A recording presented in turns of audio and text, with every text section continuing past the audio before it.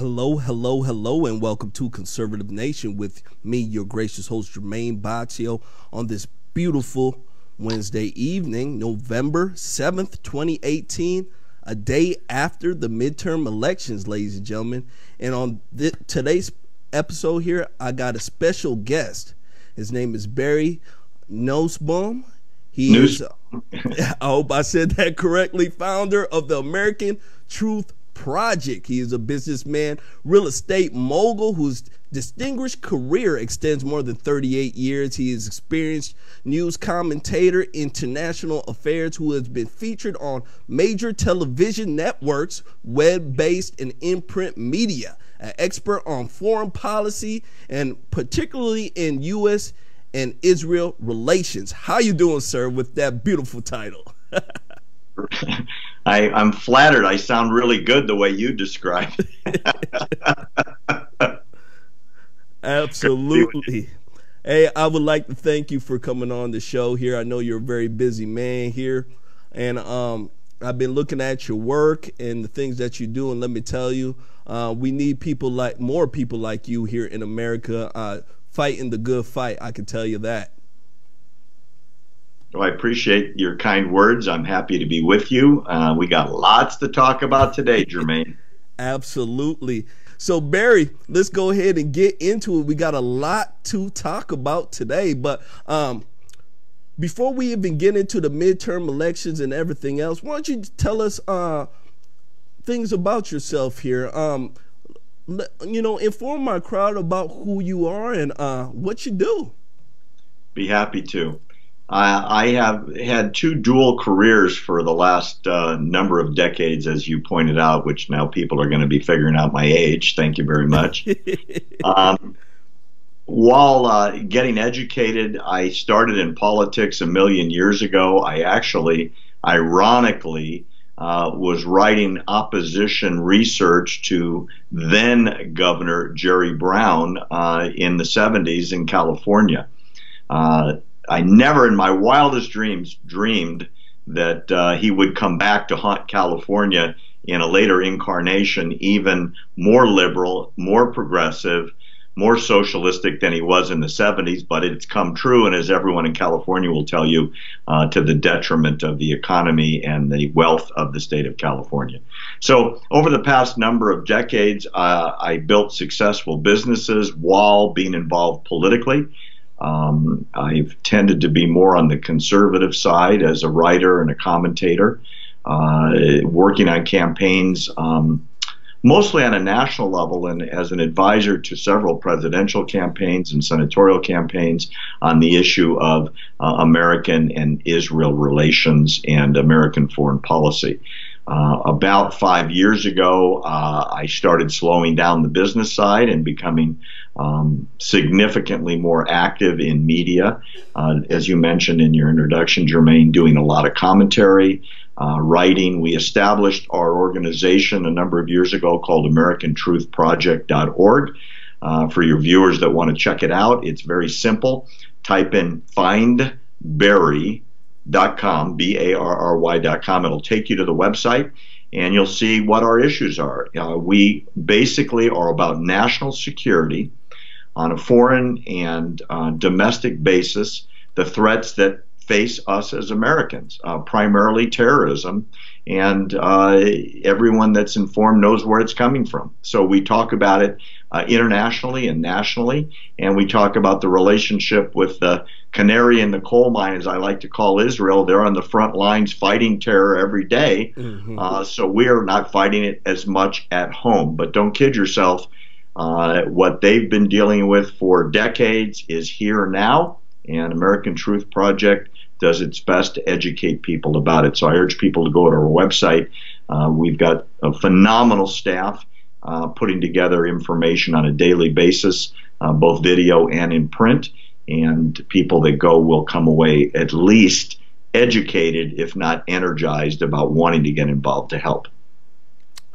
Man, oh man, I could tell you, um, you're a busy guy. Absolutely. Absolutely. So, what got you into it? Like, what was the catalyst that got you into uh, going into this type of business here?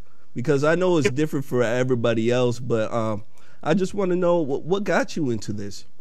You know, like you, Jermain, I'm a first generation American. Um, your parents are from Africa. My parents uh, were from Hungary, and literally my mother and my father uh, survived the Auschwitz concentration camp, which was wow. the most horrific place uh, for death in world history, and came to the United States after the wars. Most of my relatives uh, didn't survive, as you can imagine.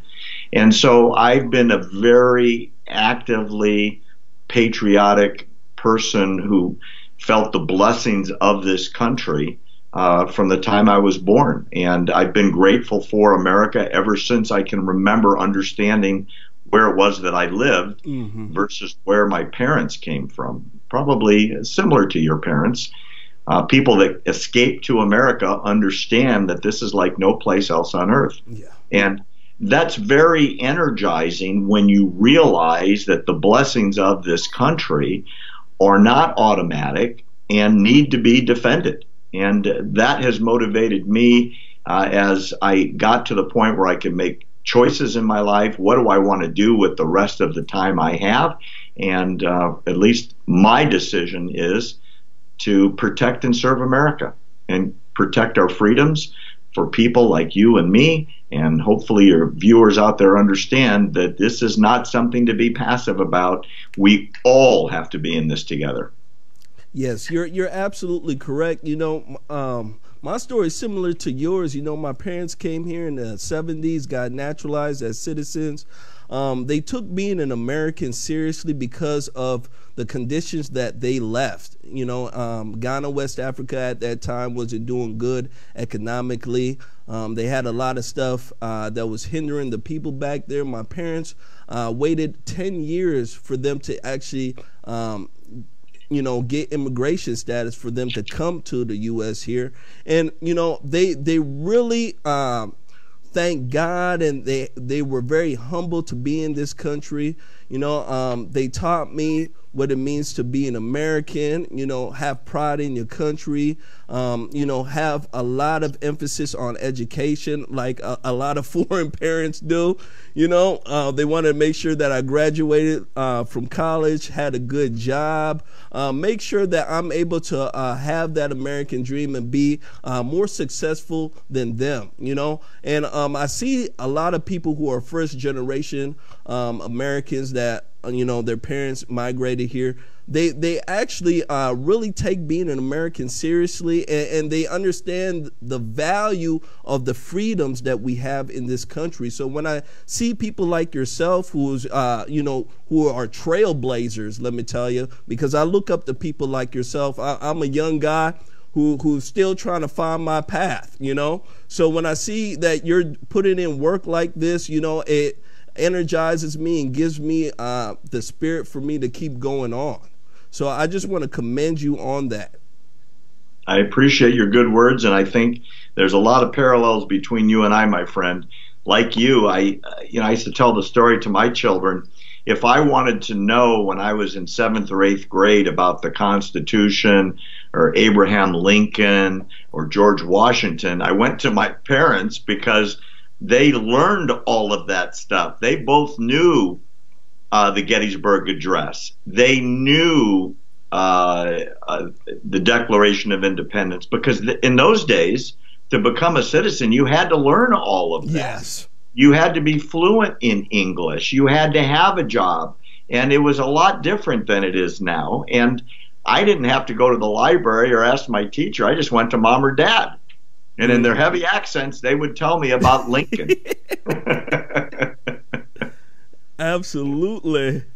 I can tell you that. And, and, um, let me tell you, they, they didn't take no stuff either. They were very stern on me.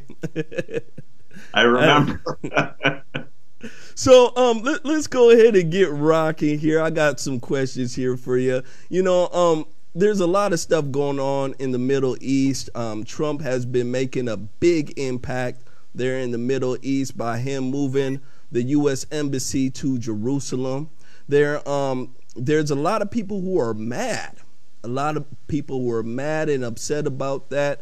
You know, um, one thing I can tell you is that there's a lot of terrorism that is going around there, and it seems to be, you know, going on and going on, and nobody can really solve that problem over there. Um, one thing I want to ask you is, uh, what are Trump's efforts against uh, Palestinian funding of terror? Because there's Palestinians are funding terrorists, um, martyrs, people. Uh, I, I, believe they're giving people like ten thousand to be a martyr and stuff like that. Is is absolutely crazy. Um, can you inform me and uh, inform our audience about uh, uh, things of that nature?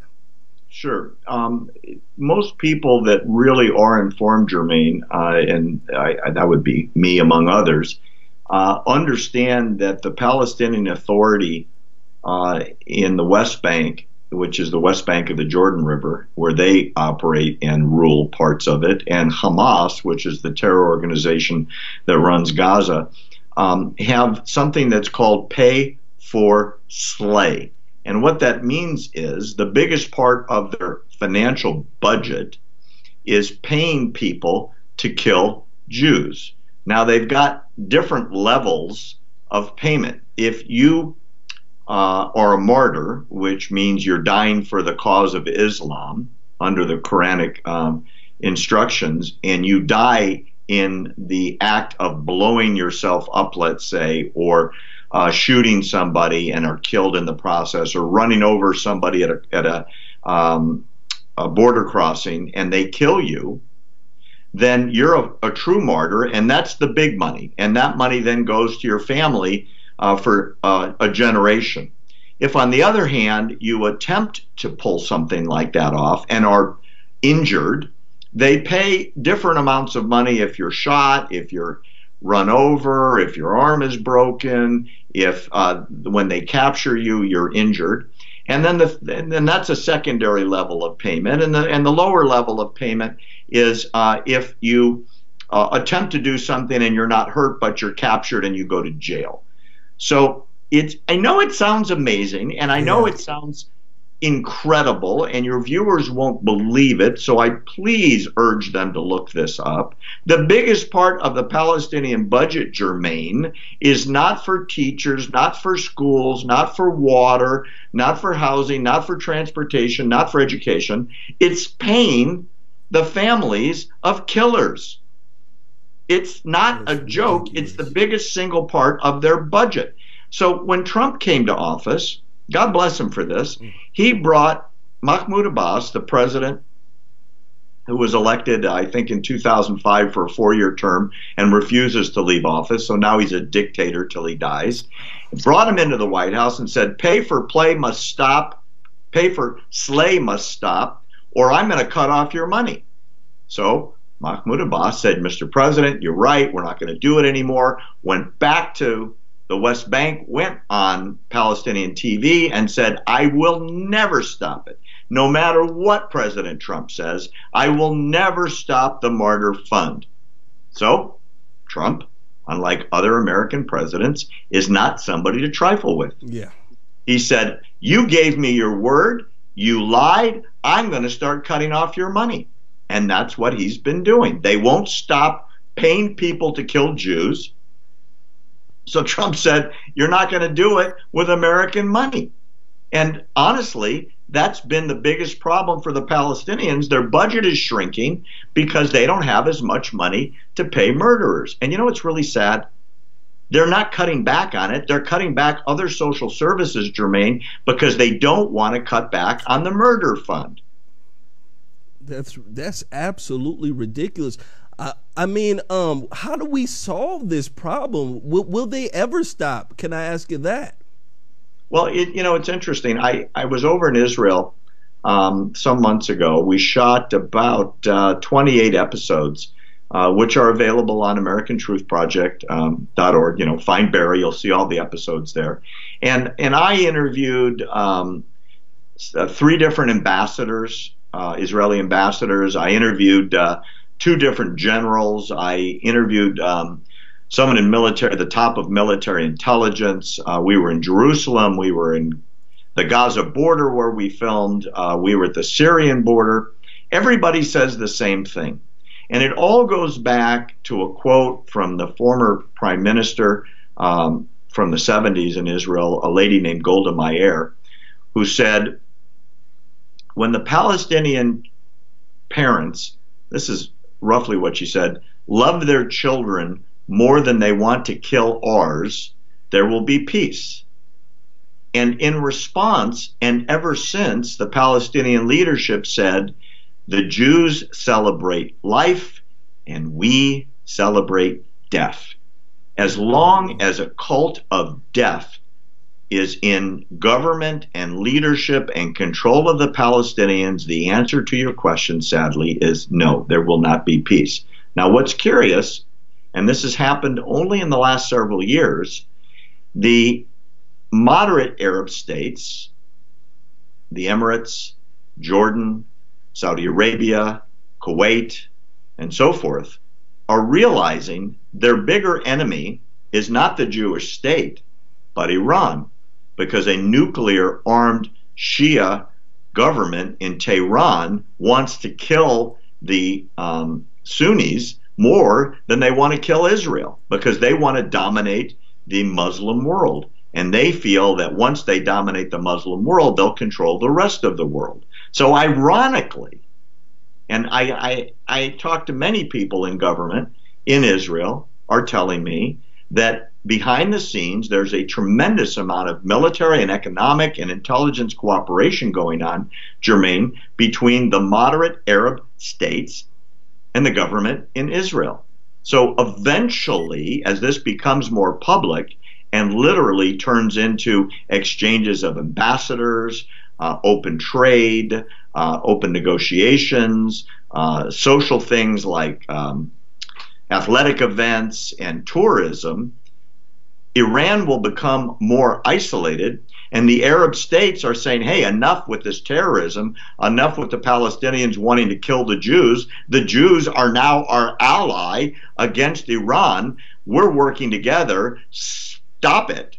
And they literally are pulling the rug out from under the Palestinian Authority to the point of I think they're going to be isolated in the West Bank so much. I know this sounds horrible. They might have to make peace. Mm-mm-mm. and, and, and, it's about time, let me tell you. You know, one thing I can say is that um, if Barack Obama, uh, the ex president, um, the fallen messiah, if he was in office, I, I can tell you um, he would have never made any type of deals at all. He wouldn't at all. Um, he actually was uh, pretty, um, uh, get, you know, pretty staunchly against uh, Jerusalem.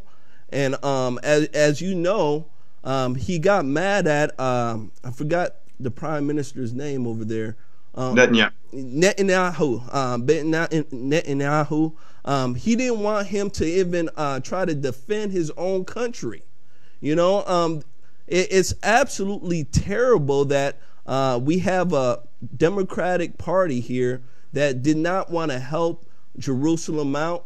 Um, we have Trump who understands how um, pivotal and how uh, important it is to help uh, Jerusalem at this time and be a strong ally in there because um, we need somebody to keep the peace in that region or, or you know, or to have it at least a little bit stable. You know, if, if exactly. we can even say that. Well, you know, what's really curious is going all the way back to the 1990s, U.S. law, Jermain, has required, required by law for the American embassy to be located in Jerusalem. That law was passed by an overwhelming majority of the House and the Senate and signed by the president. And the first president that didn't follow that law was Bill Clinton. And since then, every president until Donald Trump uh, executed a waiver every six months saying they understood the law requires the embassy to be in Jerusalem, but they were sidestepping or waiving that requirement for national security reasons, which is complete BS.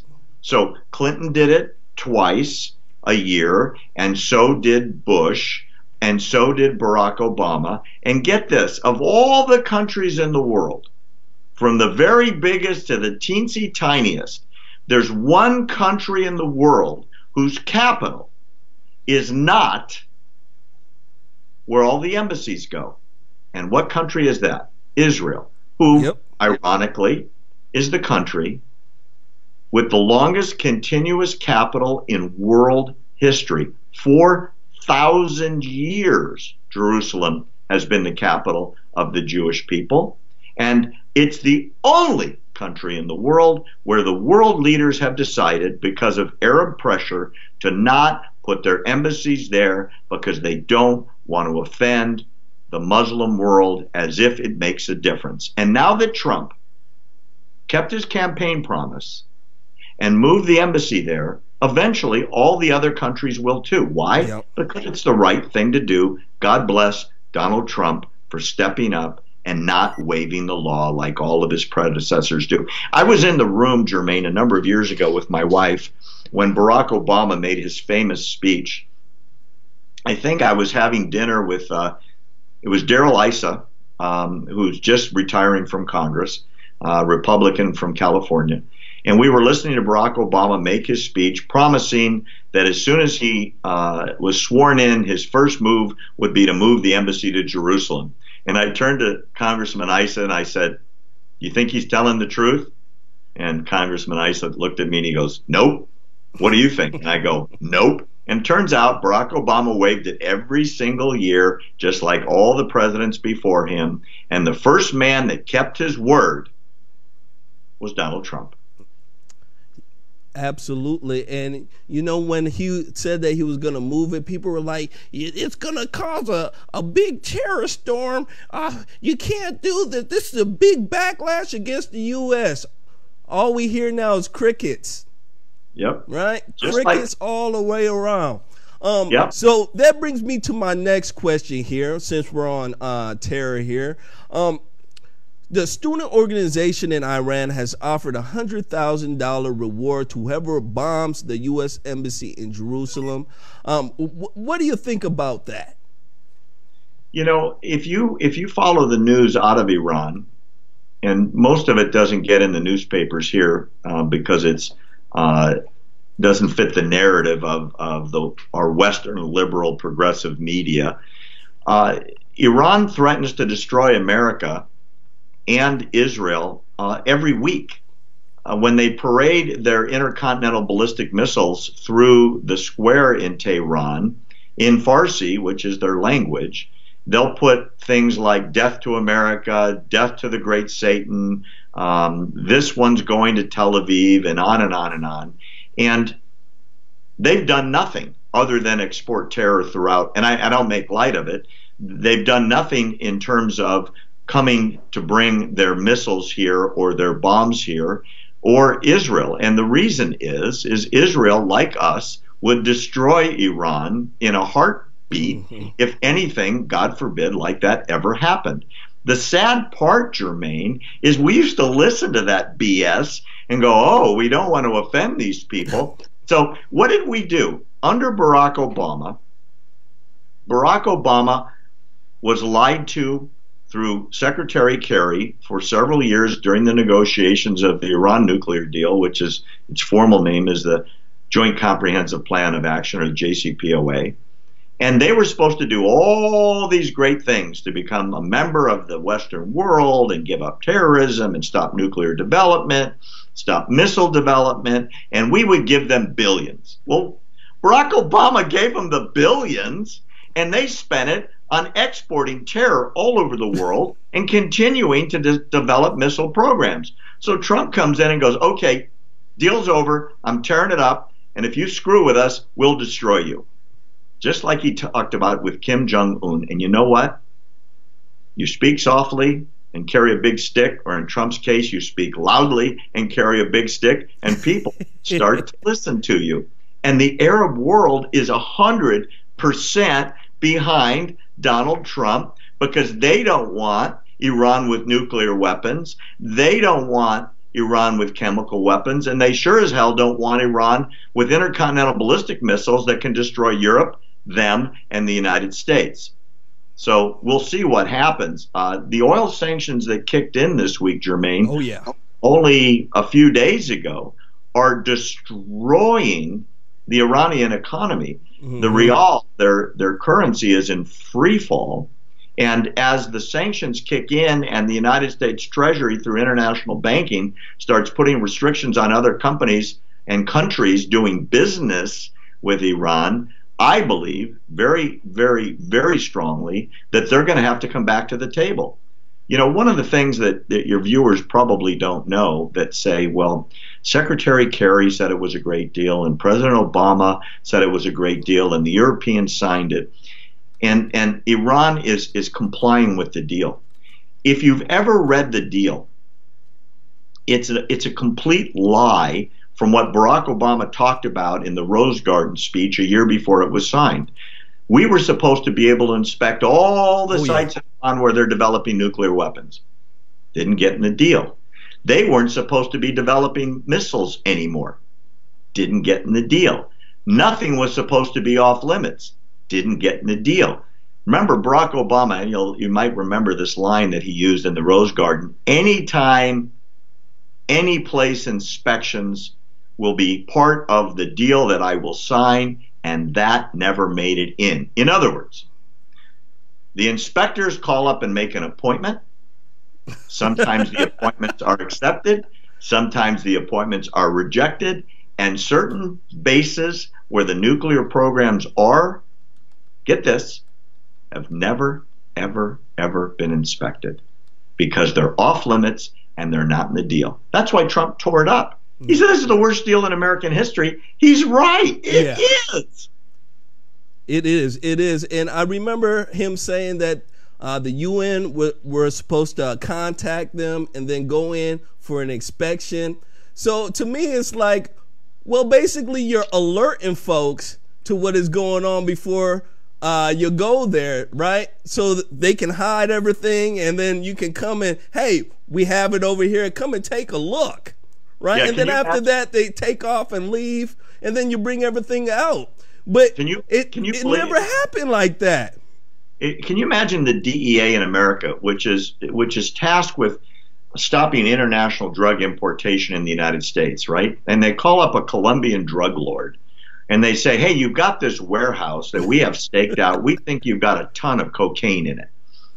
And so the drug lord goes, "Yeah, so well, we want to come inspect it tomorrow. Uh, no. How about mm, next March on the 7th at 2 o'clock? And the DEA goes, uh, okay, see you then. Guess how much cocaine would be in that warehouse by the time the DEA got there? That's, that's the Iran nuclear deal. I'm not kidding. That's really the deal.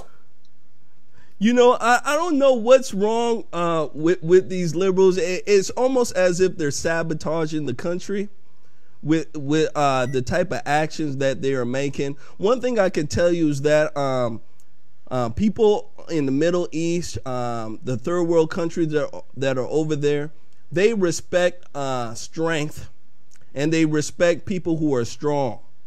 So if, if um, we're going over there like Barack Obama was, you know, uh, apologizing, trying to appease, um, you know, doing stuff like that, it doesn't show strength at all. And those type of countries, they don't respect that. You know, uh, it, it, because to me, they're not at that level where they want to be. Um, how can I say um, civil in that type of manner? You know, there there's certain um, there's certain levels when it comes to uh, the way people behave based upon what type of uh, development they're at. And to me, they weren't at that level for them to behave in that rational uh, way. So um, people in this country got to understand that people in the Middle East and especially uh, even in Africa, they respect people who are strong, who speak strong, who appear strong, who uh, who will uh, basically do what they say. So if you end up crossing a red line, guess what? There's uh, going to be retaliation. They respect that. They don't respect uh, all the soft talk and you know and the appeasing. And, and I think people don't understand that based upon um, our country's values because their values are a little bit different over there. Would you agree? Yeah. Oh, without a doubt, without a doubt. The the words that I heard from everybody that we did shows with in um, in Israel, Jermain, and like I said, it was military, it was government, it was intelligence, people on the front lines tasked with defending Israel, whether they were uh, liberal or conservative politically within Israel, they all had very glowing statements about Donald Trump because finally there was a leader of the American people that was leading the world from the front, not from the rear, yeah. and was saying, This is the way it's going to be, and we'll be in this together, and America's might will be with you. Not the apology tour that you just referenced, not the bowing to heads of state in the Middle East, which has never happened in America's history. Yeah. Um, the the disgrace that we were put through on a national level um, had profound effects in areas polit- geopolitically, Jermain, where, like you said, they respect strength, they respect power, mm-hmm. and most importantly, you keep your word and they can trust you. You know, the infamous line in the sand that Barack Obama drew in Syria. You know, I I did an interview which um, I've written up but I haven't published yet with the Syrian, uh, the American ambassador to Syria, and he told me face to face, and there was a witness in the room. So I, I, I have someone that can verify what I'm about to tell you. When I interviewed him, I said, Why did you leave office? And he said, It's very simple. The American people, through their president, told Assad, the dictator in Syria, not to use poison gas on his own people. And if he crossed that and committed genocide, with weapons of mass destruction, there would be an immediate, very brutal response from the American military. And when we did nothing, we told Assad basically, go kill whoever you wanted. Mm-hmm. And he said, and I couldn't be part of that anymore. As a Democrat, I immediately tendered my resignation to the president, and that was the end of my government service for the uh, Obama administration. So the rest of the world saw it too, Jermain. Yeah. We did nothing. Words mean nothing in the Middle East if you're a paper tiger. And now we have a president that sent missiles into Syria, and all of a sudden Syria's like, whoa, new sheriff in town. If he says no poison gas, maybe we should listen. I mean, these are horrible, despicable crimes, Jermain. Mm-hmm. I mean, mass slaughter of innocent people. And these are, in the most cases, Muslims killing Muslims. It, it doesn't matter because it's all about power. But now there's somebody, at least in, thank goodness, at the White House today that, that says what he means and means what he says. And people are going to be uh, upset that they don't like the way he says it and they think he ought to be off Twitter and they don't think he's polished. I, I'm one of those people that says, you know what? I care about the policy. Yeah. I didn't yeah. like the guy because of his home life or his um, his his communication at three o'clock in the morning. I, I I wanted him to be president because he was going to create a foreign policy change that America desperately needed mm-hmm. internationally, and it's been profound, and the world is taking notice, and I think the world will follow. Yeah, yeah, and you can see it all across uh, the world right now. Even look at North Korea, right? They were talking about uh, the summit not happening with uh, Kim Jong Un, and uh, guess what? It happened. You know, um, so it, you have to show strength on, on that side of the world to get respect, and you have to follow through with what you say. And that's something that I know that uh, people over there respect, just like uh, in the African countries. If, if you speak, you better uh, act upon what you say. If you don't, people will take note on that and uh, basically write you off. And, and uh, they wrote off America, but now uh, Donald Trump is in office, and let me tell you, everybody is holding on to their seatbelts because uh, I, I'm telling you, he is doing a very good job. I want people to make sure that they go ahead and follow you. Why don't you go ahead and uh, tell us where we can find all your material at, where people can go and uh, donate and um, and see uh, your work in action.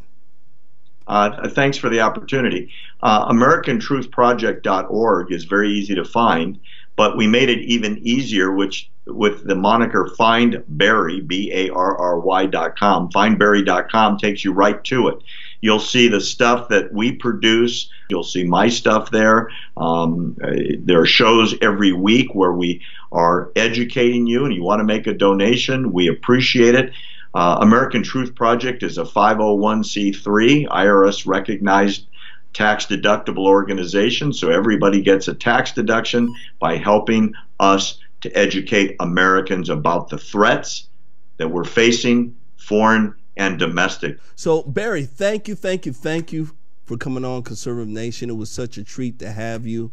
Um, you you're an instrumental guy here in the uh, you know the fight for good. Let me tell you, and hopefully we can uh, pull America out of the stupor that they are in, and so that we can uh, rise again to be uh, number one like we always are. So, thank you.